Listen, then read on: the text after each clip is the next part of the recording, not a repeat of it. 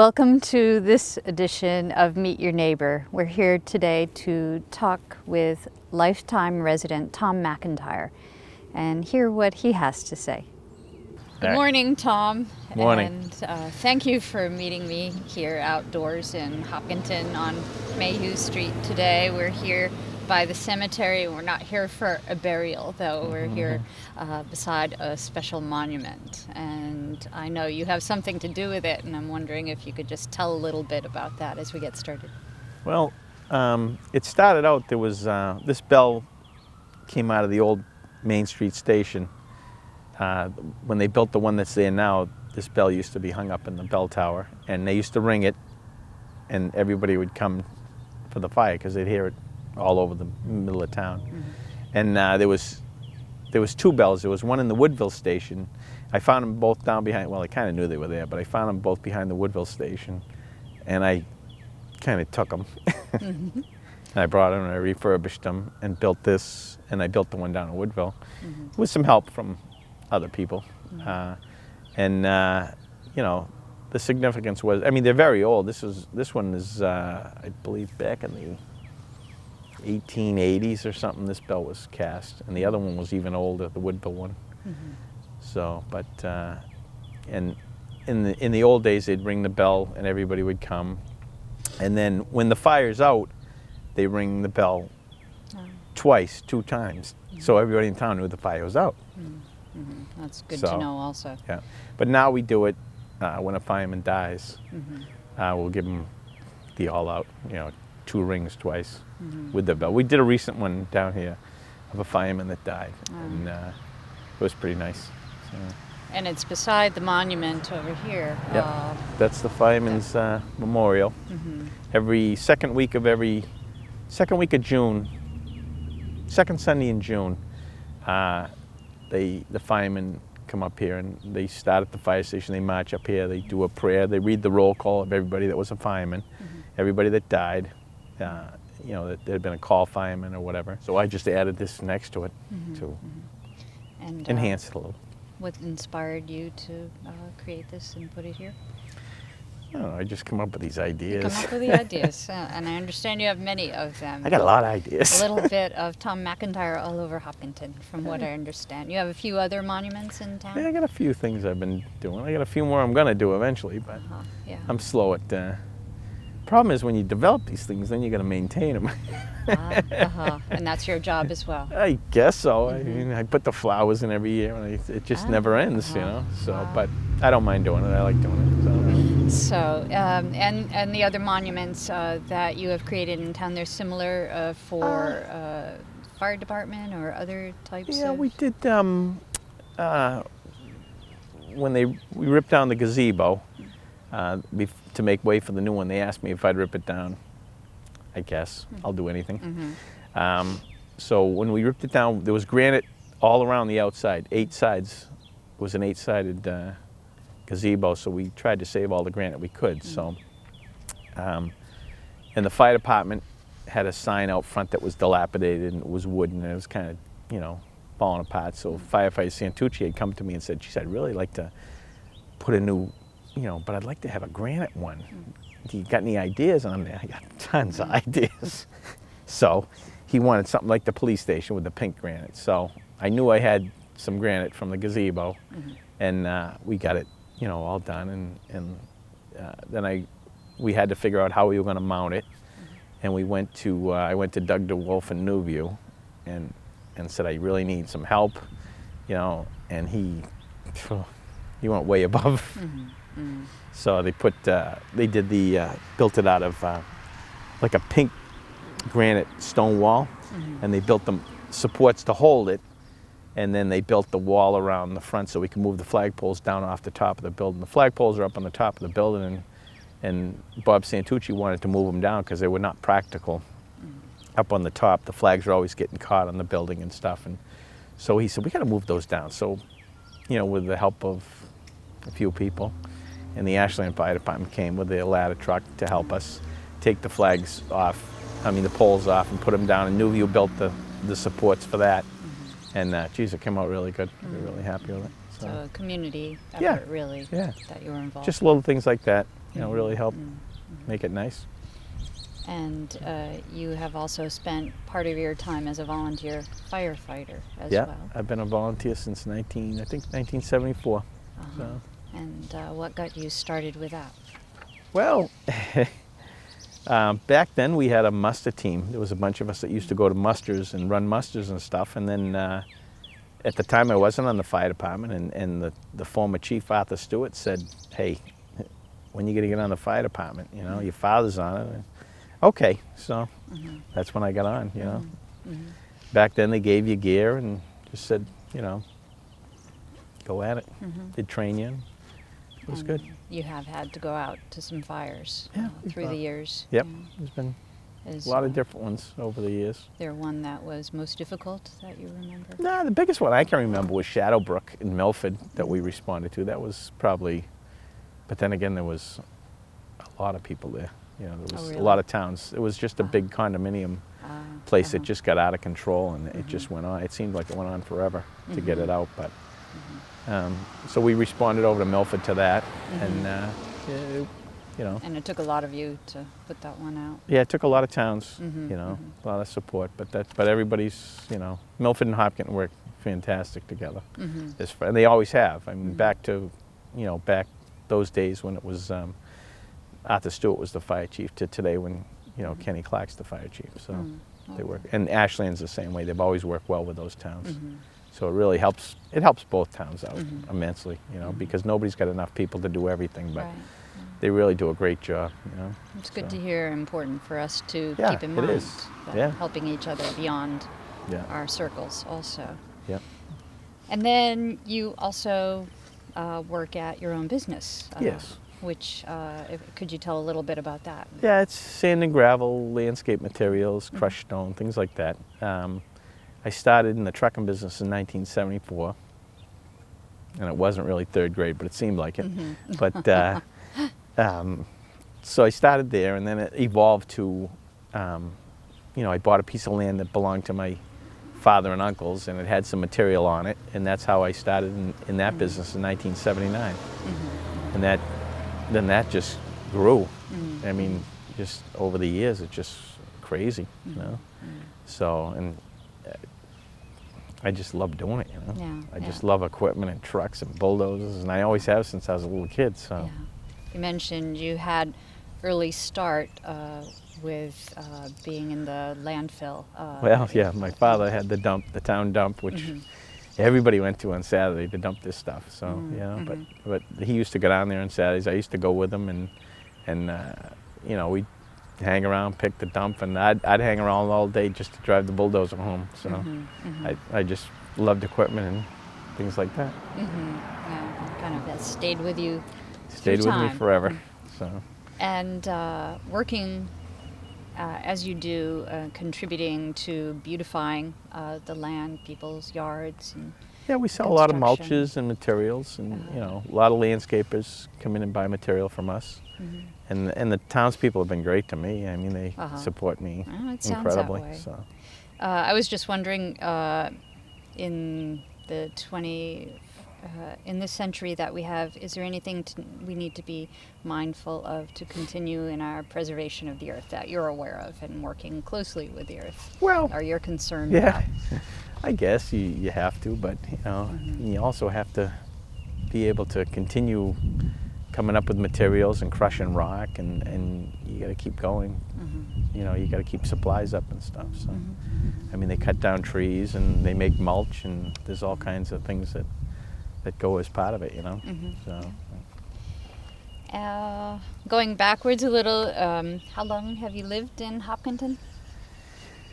Since I was born, Since you were born. 57 years. Uh huh. So, yeah, Uh huh.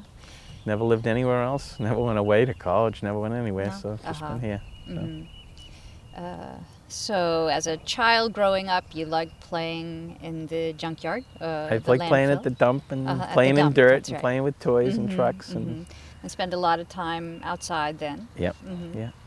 Um, and how about your family, where you came from? Uh, where did they come from, and how'd they come to settle here? Well, eh, the McIntyre side um, moved in here in the late 1800s. My father's father moved down here, and he married somebody from Hopkinton that was a uh, um, a daughter of a McBride, and the McBrides have been here eons longer. So you know, one side of my family's been here forever, and the McIntyre side came in the late 1800s. And my father was born uh, in this town. My father and uncles were born in this town, and they lived, you know, here all their lives. so, so it's kind of the way it goes. Uh huh. So you are a townie. Yeah, I'm a towny. Uh huh. What kinds of things would you say that you learned from your family I in guess- retrospect now? Well, I guess I didn't really realize, but uh, you know, getting involved in the community, doing things. Mm-hmm. I mean, I, and I and I don't really know if it's from my father and grandfather, or if it's really from watching my kids. Mm-hmm. I mean, going through school and high school, and they did mm-hmm. so much. I mean, we never did volunteer work like they do now. I mean, the kids today up to high school, they do so many things, different turkey, and they're out helping everybody to help the rest of it. just, it's just, I think that's where you get a lot of it from. You know, I figured if my kids can do it, I might as well get some stuff done. You know, Uh-huh. so. But, So I mean, I like doing little projects and little things that make a difference. Mm-hmm, I got a lot of ideas.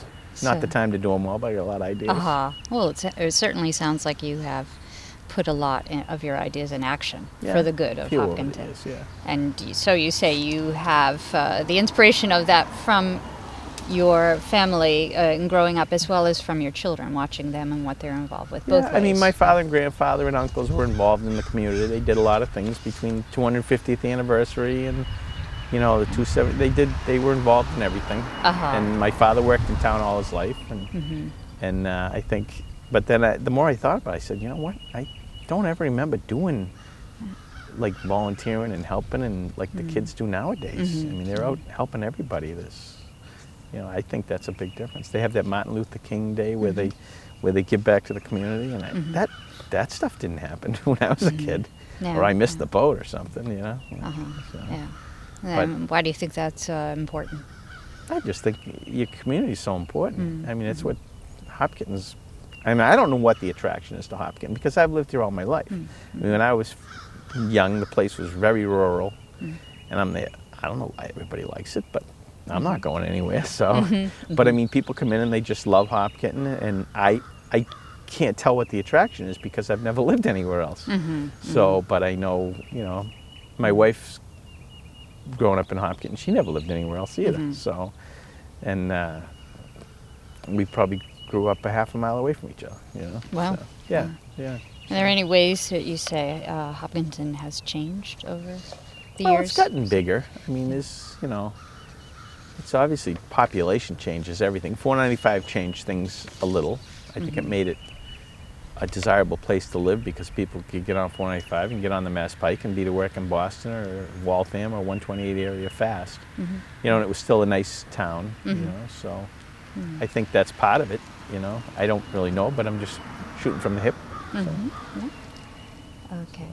And, uh, well, how about uh, your days in school? You have any uh, particular good school memories? Uh, Yeah, I how big was your school. class? You didn't like school? No? Uh-huh. You wanted to be to- out in the landfill there. I couldn't wait to get out and, Uh-huh, uh, you know, run equipment and drive Yeah, trucks. yeah. You know, that's what I wanted to do. Would you say you had any particular mentor uh, growing up and uh, living the life that you uh, wanted to live, that you're living now? Probably my my father Your mostly. father, you know, he was into equipment and stuff. Even though he worked for the town, he liked bulldozers and trucks, and he always, you know, that was hmm Yeah. so it kind of, you know. And when I started, he, he was pretty excited. So. Mm-hmm. And so uh, after high school, uh, you went on to study, or you went on No, to I bought a truck. on the trucks? I bought a truck when I Uh-huh. was um, 18. And you transported, I, I worked for other people hauling, Hauling, um, mhm.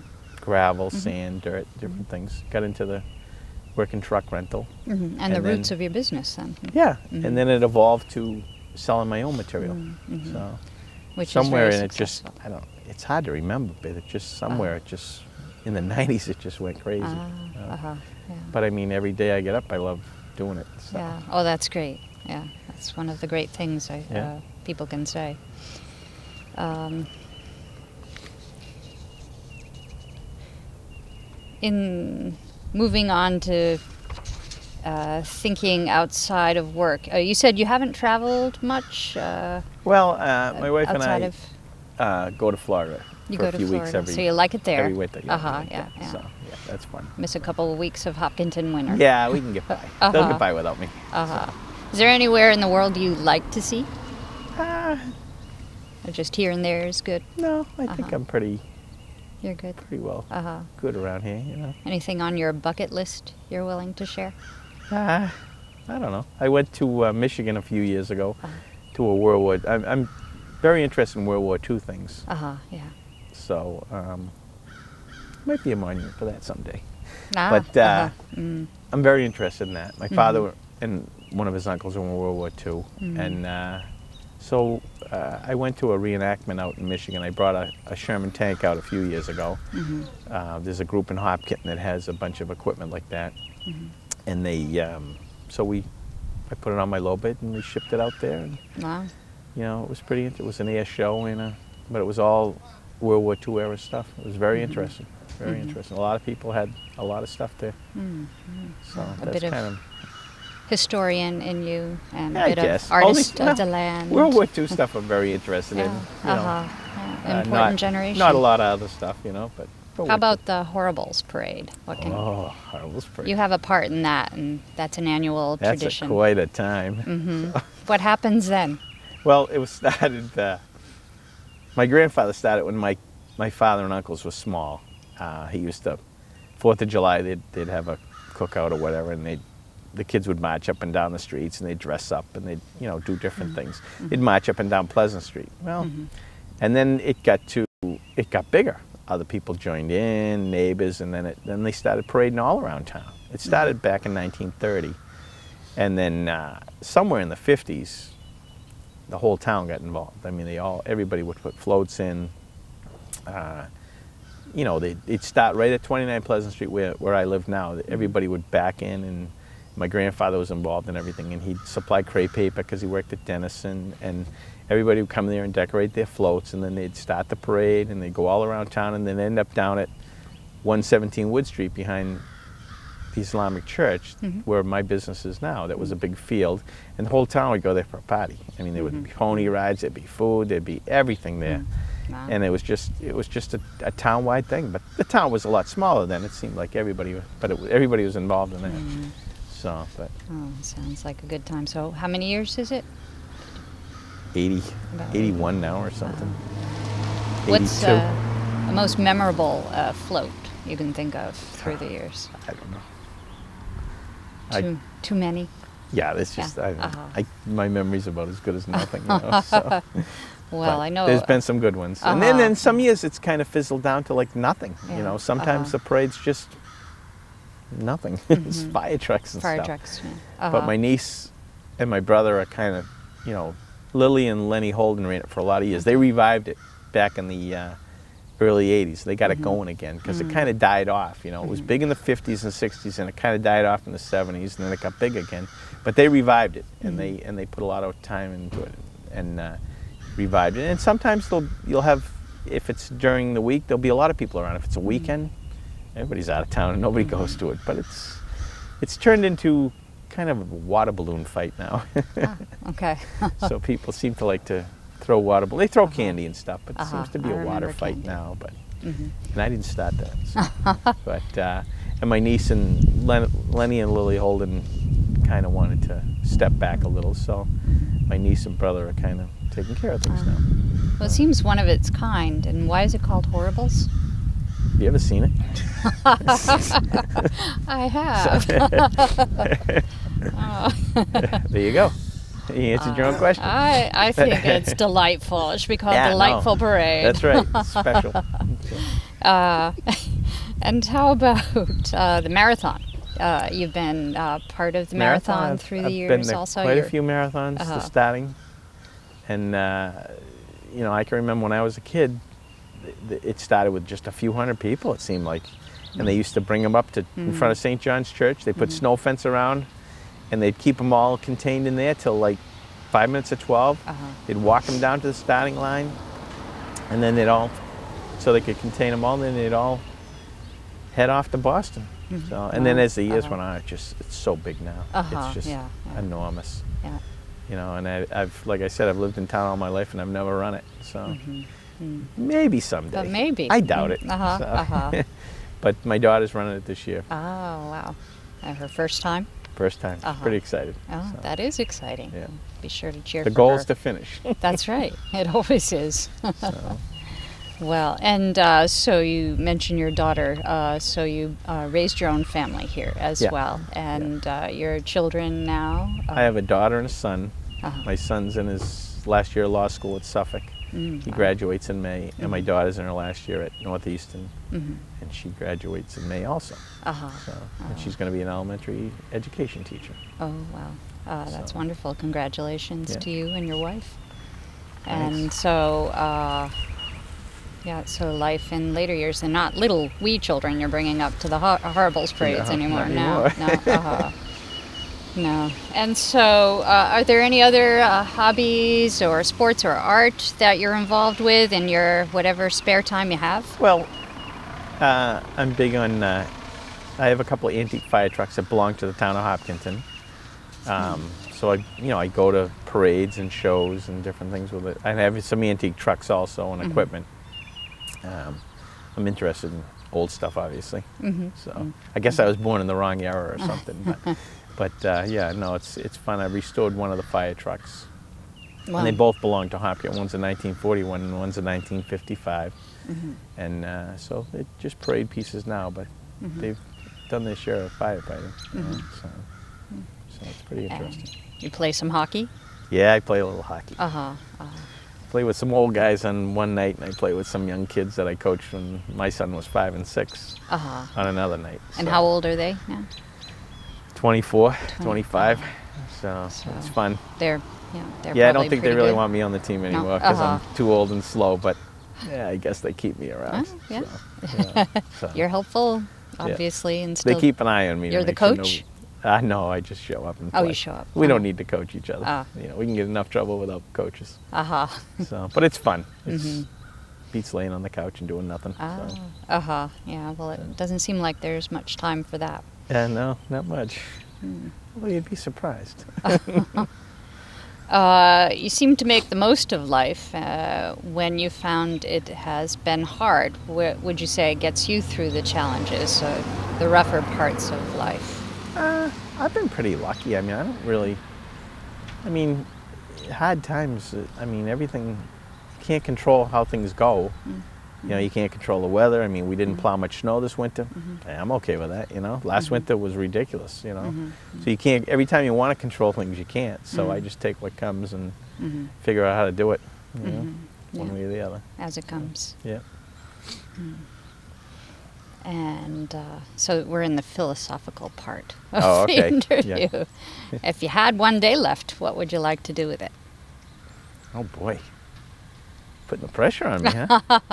well, it would probably involve being in Hopkins, I'm sure. Yeah. Uh huh. But just hang around with my family, I guess, Mhm, be yeah. the best thing. Take a spin on the fire trucks. I don't know. A spin on the fire trucks. Uh huh. One last Hor- Horribles parade. Yeah, probably. Uh huh. Yeah. Well, that's a good thought. yeah.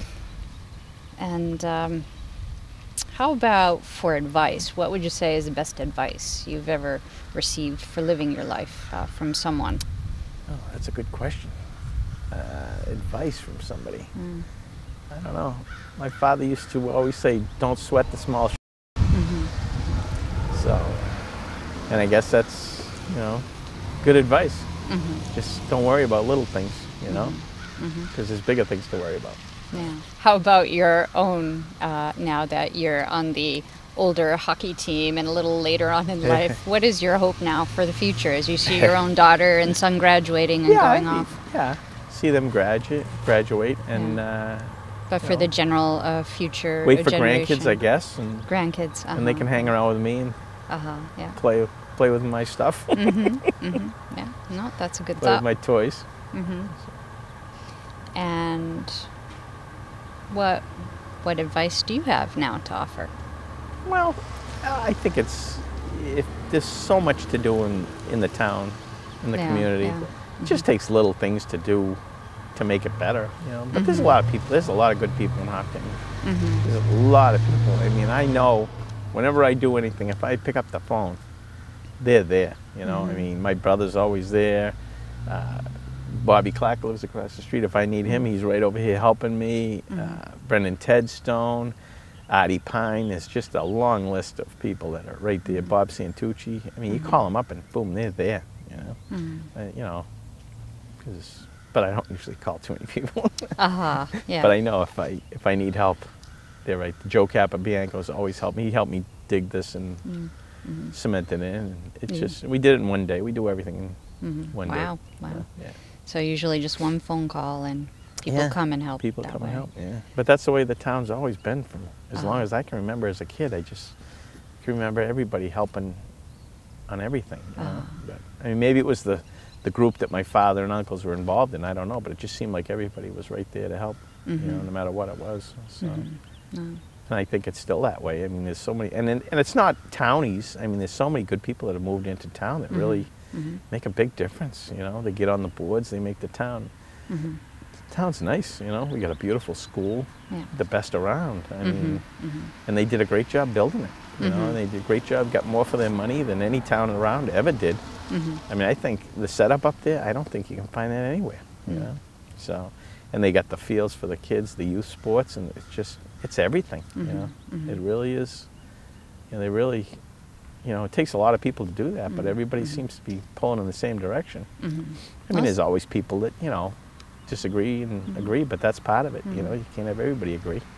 That's a nice way of uh, looking at it and Yeah. looking where you come from in your own roots Yeah. and uh, the life you've led, what you've seen happen here. Uh, Yeah. That it's it's not just one person about that or one against another, but it really is Uh-uh. everybody working together, and, and you really live that life. And, Yeah. In Yeah. what you do, all you do, you uh, have made a lot happen and beautified uh, the town a lot, and get Well, if I didn't like doing it, I wouldn't do it. So Uh huh. Uh huh. it's that simple. So, Part of your but- philosophy, also. but yeah,